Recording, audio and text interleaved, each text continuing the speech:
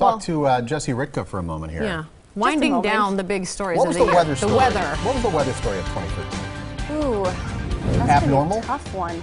Yeah, we were kind of all over the place. I mean, February, more than 20 inches of snow. December, almost 20 inches of snow. I don't know. We're kind of all over the map. Temperatures this summer were pretty warm as well. I think we'll try and recap that later on today. Awesome. All right, well, let's talk about the snow, of course. We're ending 2013 on a very cold and very snowy note as the snow showers moving now into Jefferson and Walworth County. This is one little band that's going to swing through tonight. This is what the winter weather advisory is for for the overnight hours. Notice there's a stationary front, though, off to the west. This is what we've been watching. We were monitoring yesterday saying two scenarios. One scenario, we get a decent amount of snow. Excuse me. The other scenario, Chicago gets it. Look at the band. It is heading more towards Chicago now. So we're looking more along the lines of three to six inches of snow. And the main problem with this, it's going to be very light, very fluffy, and very compactable underneath your tire. So as you're headed out to some of those New Year's parties this evening, going to be looking at some slick spots on the roads from the snow. The visibility is going to be dropping as well. You can see in Kenosha, it looks a little bit hazier. Light snow showers are going to be moving in within the next hour. And of course, in addition to the snow, we have that cold, a little bit warmer than yesterday. Not by much though. Nine right now in Milwaukee, seven in Waukesha as well as in Beaver Dam. At least we're all above the zero degree mark. Some of us will drop down below that later on tonight as well. So there's that winter weather advisory again. Lasts until noon on Thursday for Milwaukee, Racine, and Kenosha because we are expecting some lake effect snow on Thursday. Otherwise, it expires at 6 o'clock on Wednesday for Jefferson, Waukesha, and Walworth County. So if you're going out tonight, here's your planner. Come take a look. Put on the layers. 7 degrees at 8 p.m., 6 degrees at midnight.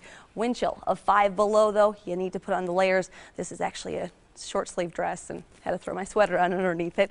5 degrees at 2 p.m. when you're heading on home. Let's time it all out for you, though. Again, there's that one band tonight. May catch a break tomorrow morning in the action as far as the snow is concerned, but the light, steady snow continues right along the state line is where the worst of it's going to be. And again, Chicago and northern Illinois going to see a bit more snow from this. And then heading into your Thursday, still some lake effect snow expected, so that could bring an additional one to two inches for some of us. Really depends on if those lake effect bands set on up. Then high pressure returns, and that's going to dry us out just in time for Friday before a light little warm up in the forecast for your weekend. For tonight, though, again, a cold one, so bundle up as you're watching the ball drop. Zero degrees in Waukesha, four below in Fond du Lac, two below in West Bend, four tonight in Milwaukee. And then tomorrow, light snow showers continuing. A little bit warmer, though. Many of us in the teens, at least we get out of the single digits, still have light snow showers expected as that wind swings around from the northeast. So now take a look at these snow totals. These are from tonight all the way through Thursday. This is not just for the winter weather advisory totals are going to be the highest along the state line. So you could see five, maybe a six inch or two in Lake Geneva as well as in Kenosha. Also looking at three to five inches from Walworth County through uh, Milwaukee County and lighter amounts up to the north. So Fond du Lac, you're not going to see a whole lot of this snow. And everybody who sees snow, it's going to be that leaf blower snow. So very light and fluffy, but again, could create some slick spots on the road. So take it easy.